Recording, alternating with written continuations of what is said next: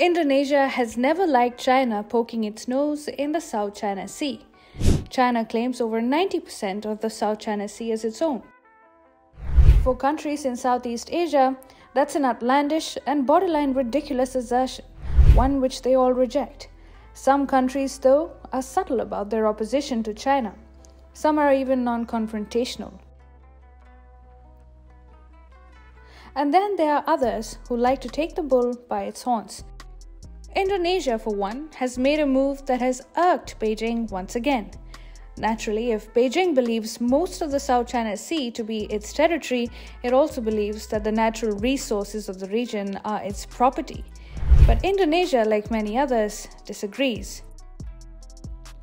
So, what has Jakarta done that has irked China?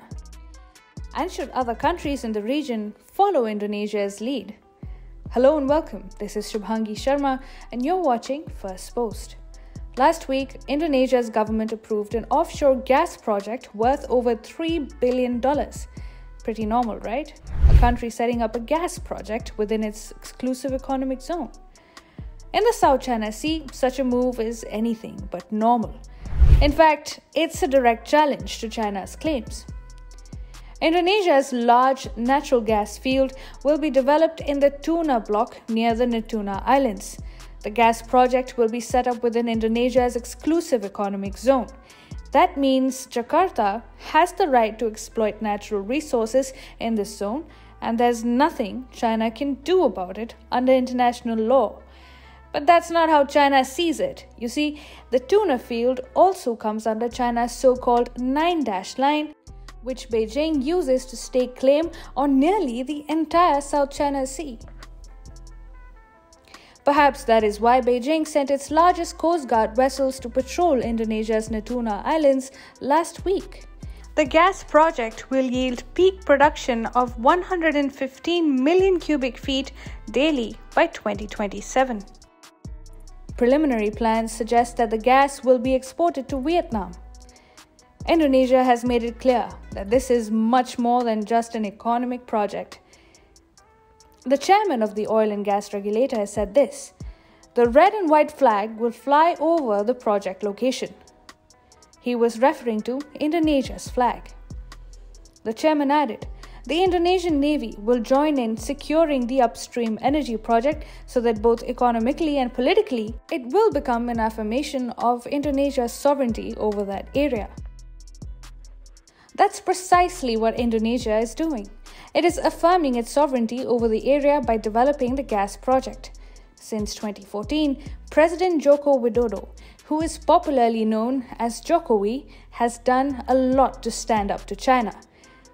Confrontations between China and Indonesia in the region have occurred several times, most prominently in 2016 when Chinese Coast guards stopped the Indonesian authorities from detaining a Chinese fishing boat in the waters around the Natuna Islands.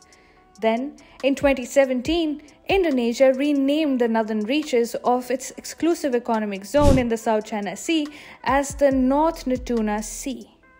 That was an open challenge to China's territorial claims in the region.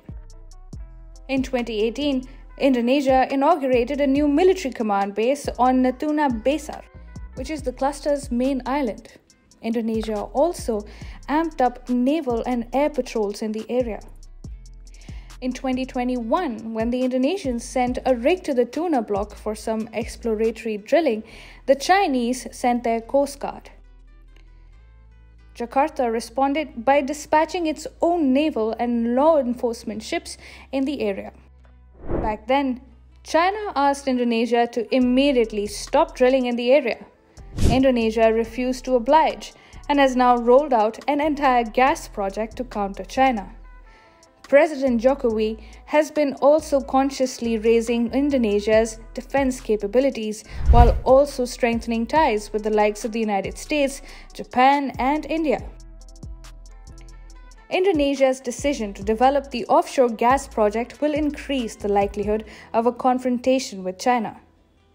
Do you think Indonesia should continue pushing on? Do let us know in the comments.